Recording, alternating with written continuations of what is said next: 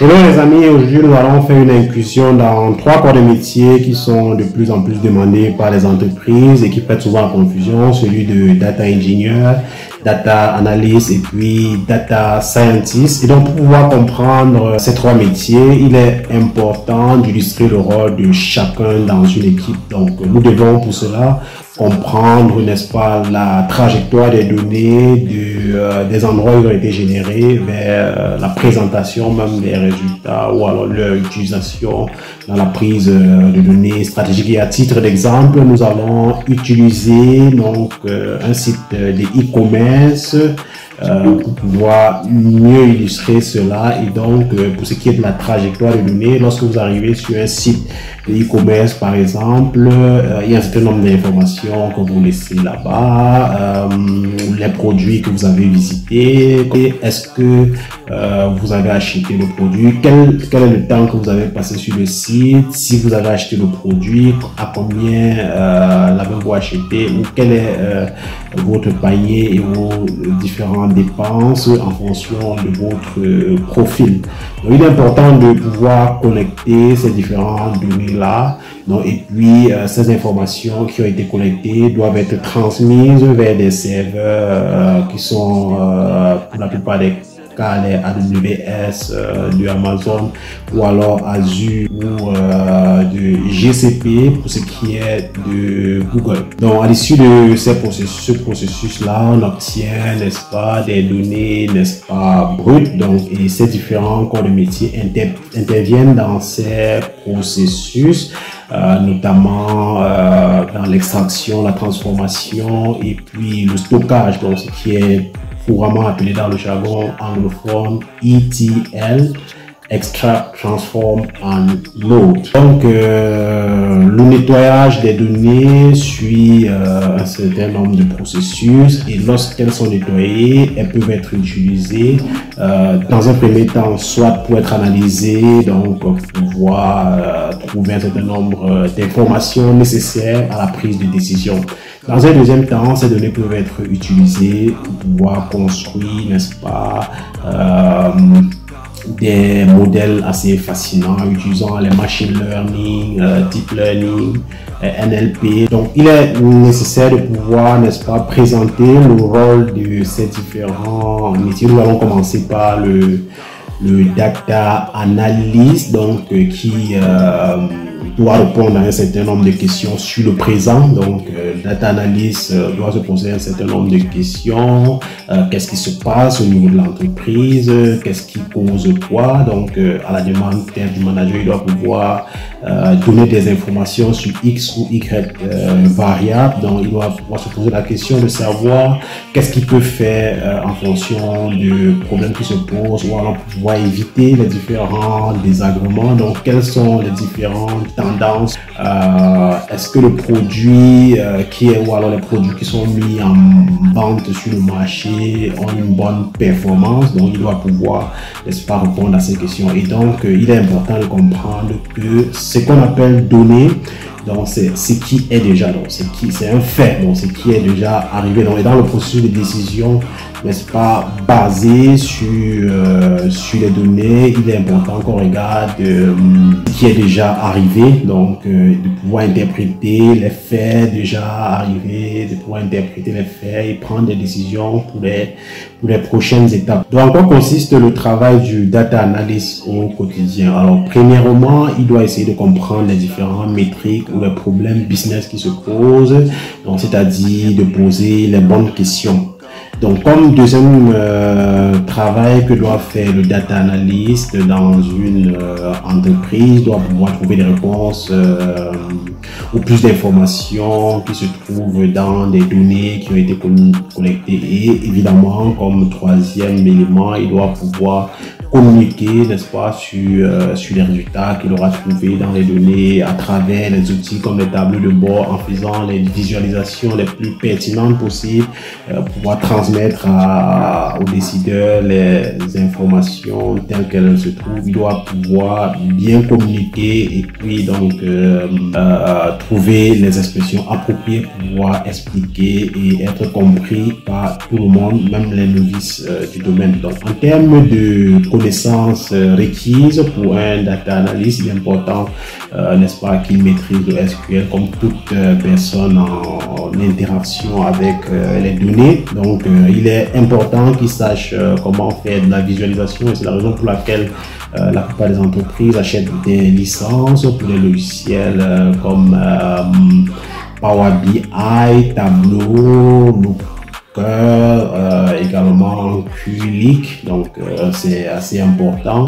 Et comme troisième euh, élément, il est important d'avoir euh, comme domaine de compétences, euh, donc pouvoir euh, donner la signification de chacune des mesures qui sont utilisées et les différentes interactions qu'il y a entre elles. Donc le data scientist, c'est la deuxième compétence sur laquelle on va revenir. Donc c'est une compétence qui répond euh, qui demande à répondre aux questions plutôt sur le futur, contrairement aux data qui euh, traitent des problématiques beaucoup plus sur, euh, sur le présent. Donc, il doit chercher et trouver des modèles euh, et des domaines pour pouvoir répondre aux questions plutôt, n'est-ce pas, dans le futur, par exemple. Donc, euh, en termes de technique, c'est une technique ancienne qui est plus connue sous le nom de, de la statistique. Donc, on utilise des techniques comme euh, le machine learning, le deep learning, n'est-ce pas, pouvoir construire des modèles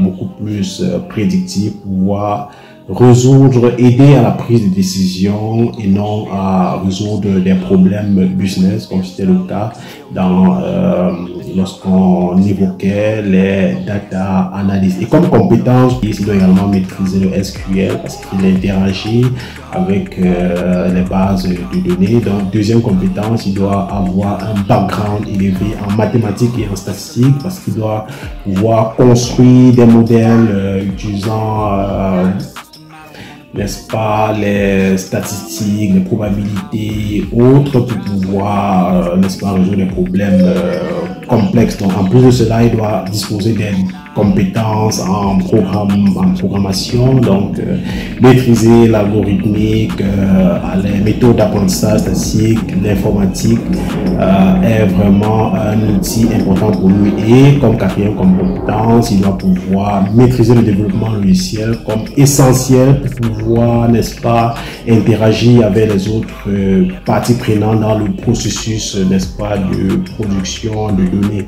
Donc, Git Workflow, GCI, euh, CD, euh, euh, DevOps, donc ce sont des outils auxquels il doit être familier pour pouvoir bien, euh, n'est-ce pas, maîtriser son métier. La troisième compétence que nous allons présenter ici est celle de Data Engineer, donc qui est une compétence que nous allons, nous avons présenter à la suite des compétences de Data Analyse et de Data Scientist parce que un data engineer produit les informations qui seront euh, plus tard utilisées par un data analyst et un data engineer. Donc, comment un data scientist et un data engineer obtiennent leurs données? Donc, la réponse, euh, vous la connaissez déjà. Donc, euh, c'est le data engineer donc, qui est dans le processus de production des données, comportement utilisateur vers, euh, vers les bases de données euh, qui seront plus tard utilisées, comme je l'ai dit, par les data ingénieurs, les data analystes et puis les data ingénieurs. Donc, comme réponse, donc, donc, il est dans le processus de pouvoir construire le circuit de données donc euh, en partant des utilisateurs vers le cloud et puis la mise en disposition des, des, bases de données qui seront euh, utilisées plus tard par les, les autres euh, corps de métier en termes de carrière. Donc, n'est-ce pas, pour un data engineer, donc il doit pouvoir, n'est-ce pas, euh, savoir comment extraire les données des sources assez disparates pour pouvoir, euh, n'est-ce pas, les mettre dans un, dans une, euh, donc, une base de données unique donc pour les différents utilisateurs euh, que sont notamment euh, les data analysts et puis les data scientists. Donc, euh, il doit se rassurer, n'est-ce pas, que le circuit de données qu'il a construit donc, sont optimaux et puis efficients en termes de coût. Donc, également, il pourra, il devra s'assurer que les données qu'utilisent les autres, les data analysts et puis les data scientists.